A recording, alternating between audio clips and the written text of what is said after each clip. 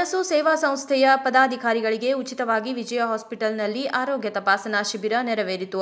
ಕನಸು ಸಂಸ್ಥೆಯ ಸಮಾಜ ಸೇವಕರನ್ನ ಗುರುತಿಸಿ ಸಂಸ್ಥೆಯ ಸರ್ವ ಸದಸ್ಯರ ಆರೋಗ್ಯ ತಪಾಸಣೆಯನ್ನ ಸಂಪೂರ್ಣ ಉಚಿತವಾಗಿ ವಿಜಯ ಹಾಸ್ಪಿಟಲ್ ವೈದ್ಯರು ಮಾಡಿದರು. ಈ ಸಂದರ್ಭದಲ್ಲಿ ಉಪಸ್ಥಿತರಿದ್ದ ಆಸ್ಪತ್ರೆಯ ಅಧ್ಯಕ್ಷರಾದ ಡಾಕ್ಟರ್ ರವಿ ಪಾಟೀಲ್, ಕನಸು ಸಂಸ್ಥೆಯ ಸದಸ್ಯರಿಗೆ ಉತ್ತಮ ಆರೋಗ್ಯ ಕಾಪಾಡಿಕೊಳ್ಳಲು ಅಗತ್ಯವಾದ ಎಲ್ಲ ರೀತಿಯ ಮಾಹಿತಿ ನೀಡಿದರು. ಕನಸು ಸಂಸ್ಥೆಯ ಮುಂದಿನ ಸಮಾಜ ಸೇವೆಯ ಬಗ್ಗೆ ಕೆಲವು ಸಲಹೆ ಸೂಚನೆ ನೀಡಿದರು.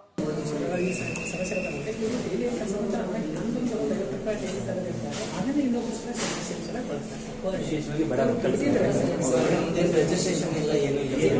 ಫ್ರೆಂಡ್ ಸರ್ಕಲ್ ನಾವು ಗ್ರೂಪ್ ಮಾಡಿದ್ದೀವಿ ಎಷ್ಟು ಅಂತೇಳಿ ಲಿಮಿಟ್ ಇಲ್ಲ ಸರ್ ಅವ್ರದ್ದು ಅಮೌಂಟ್ ಎಷ್ಟು ಸಾಧ್ಯ ಅಷ್ಟು ಕೊಡ್ತಾರೆ ಬಡ ಮಕ್ಕಳಿಗೆ ಬಡ ಮಕ್ಕಳಿಗೆ ವೈದ್ಯಕೀಯ ನೆರವು ನೀಡ್ತಾ ಇದ್ದೀವಿ. ಅಷ್ಟೆಲ್ಲ ಮತ್ತೆ ಇದು ಪ್ರವಾಹ ಬಂದಿರ್ತಲ್ಲ ಸರ್ ಆ ಟೈಮಲ್ಲಿ ಅಲ್ಲಿ ಊರಿಗೆ ಹೋಗಿ ಅವ್ರಿಗೆಲ್ಲ ಸಾಮಗ್ರಿ ಎಲ್ಲ ಕೊಟ್ಟಿದ್ದಾರೆ ಕೋವಿಡ್ ಟೈಮಲ್ಲಿ ರಸ್ತೆ ಇದರಲ್ಲಿ ಇದರಲ್ಲಿ ಎಲ್ಲ ಹೆಲ್ಪ್ ನೀವು ಒಂದು ಲೆಟ್ರೇಟ್ ಮಾಡ್ಕೊಡಿ.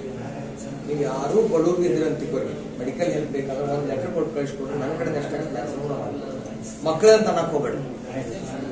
ನಿಮ್ಗೆ ಎಲ್ಲಿಗೆ ಯಾವುದು ಕಾಂಟ್ಯಾಕ್ಟ್ ಬಂತಪ್ಪ? ಇವಾಗ ಯಾವುದೋ ಕಾಲ್ ಮುಗಿದೈತಿ ಯಾರಿಗೂ ಜ್ವರ ಬಂದೈತಿ ಯಾರಿಗೂ ಏನೋ ತೊಂದರೆ ಇದೆ ಅವನ್ನ ನಿಮ್ಗೆ ಲೆಟರ್ ಇಡ್ಬೇಕು ಕಳಿಸಿದ್ರೆ ನಾನು ಮ್ಯಾಕ್ಸಿಮಮ್ ಅವ್ರಿಗೆ ಹೆಲ್ಪ್ ಮಾಡ್ತೀನಿ. ನಾ ಎಲ್ಲರಿಗೂ ಒಂದ್ ಸ್ವಲ್ಪ ಮಾಡ್ತಿರ್ತೀನಿ. ಬಟ್ ನಿಮ್ ಕಡೆಯಿಂದ ಅಥೆಂಟಿಕೇಟೆಡ್ ಕರೆನ ಬಡವಪ್ಪ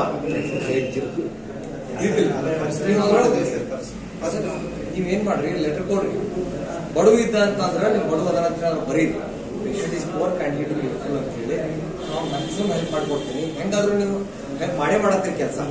ಒಂದು ಲೆಟರ್ ಲೆಟರ್ ಕಳ್ಸಿದ್ರೆ ನಂಗೆ ಅಥೆಂಟಿಕೇಟೆಡ್ ಆಗ್ತೈತಿ. ನಾನು ಅವ್ರಿಗೆ ಆ ಬಡವ್ರಿಗೆ ನಾನು ಹೆಲ್ಪ್ ಮಾಡ್ತೀನಿ.